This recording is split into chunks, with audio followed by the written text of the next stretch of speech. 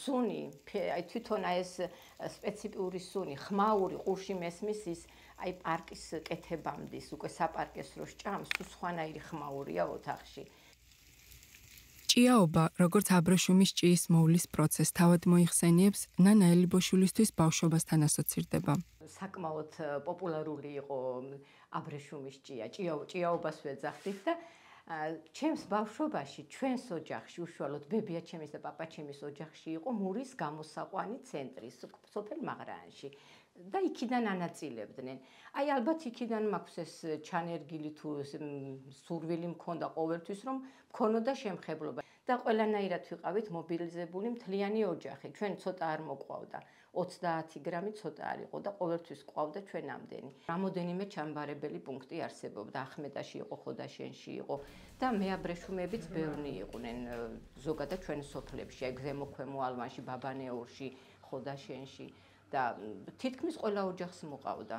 მაშინ არ იყო ისე რომ აი ან ფურცლის პრობლემა, ყველა ოჯახში ჩვენ თვითონ მაგრანში გარშემო, არ ვიცი, სულ ცოტა 30 ძირი ფურცელი ქონდა ვენახის გარშემო. აბრეშუმის ჭიების მოვლის საზღაურად ოჯახის საკმაოდ მაღალ შემოსავალს მოელოდა.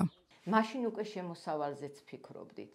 აი დედაჩემი პედაგოგი იყო და მაგალითი მომყავს თვიური იმისი ხელფასი იყო 120 მანეთი თულარი არ მანეთი ალბათ და დიდი თანხა იყო, მაგრამ აი ერთი თვის ჭიაობა 1200 ლარისა მოგვიყვანია ჩვენ რამის თლიანი წლის ხელფასი იყო დედაჩემის. ტრადიციული რეწვის ასოციაციის წევრის თუშური ხელსაქმის ოსტატ მეაბრეშუმე ფერმერისთვის ჭიის მოვლის პროცესის სიამოვნება უფროა ვიდრე შემოსავლის წყარო. მე ახლა ალვანში ქვემო ალვანში ვარ გამოთხოვილი. აქაც მყავდა კიდევ პარკი მომყავდა. და მე უკვე ეს ცხოვრება თო ისე აეწყო რომ ფაქტიურად მივიწყებას მიეცა და ეხლა შანსი მომეცა. და ყოველგვარი აი ფიქრის გარეშე დავთანხმდი რომ ერთ-ერთი მოხალისე მე ჩემთავს მოხალისე თვლი ვიქნებოდი ამ ეტაპზე საერთოდ არ მიფიქრია შემოსავალზე არც კი დავფიქრებულ ვარ რას მომცემდა იმიტომ რომ ძალიან ბევრი რაღაცის კეთება მიწევს და ბევრ სფეროში ვარ და შეიძლება ამაზე მეტი შემოსავლიანი ის იყოს. მაგრამ დღესდღეობით ეს უფრო სიყვარულით კეთდება, რასაც ვაკეთებ. ნანა ელიბოშულს რამდენიმე სპეციალობა აქვს, მათ შორისაა თექის ხელოსანი, დეკორატიული და გამოყენებითი ქსოვილების სპეციალისტი, ტურისტული მემკვიდრეობის გიდი. გონია რომ სპეციალობების ეს ჩამონათვალი ერთმანეთს ავსებს. თექას, ჭიაობასა და აბრეშუმის პარკს გიდობას ხელოვნება უწევს. მიყვარს ამათთან ურთიერთობა, საერთოდ პარკთან ურთიერთობა, ხელოვნებასთან ძალიან ახლო კავშირში ვარ და აი ეს პარკიც რატომღაც ხელოვნებასთან ასოცირდება ჩემ შემთხვევაში და ჭია კიდევ ეს საქართველოს ერთ-ერთი მხსნელია, მე ასე ვფიქრობ. სამომავლოდ. ცირე რაოდენობის ჭიის გამოსაკვებად ეზოს რამდენიმე ძირი თუთისხეთ საკმარისია, თუმცა დარგის განვითარების შემთხვევაში ფერმერს ხეების გამრავლებასთან დაკავშირებითაც ფართომასშტაბიანი გეგმები აქვს.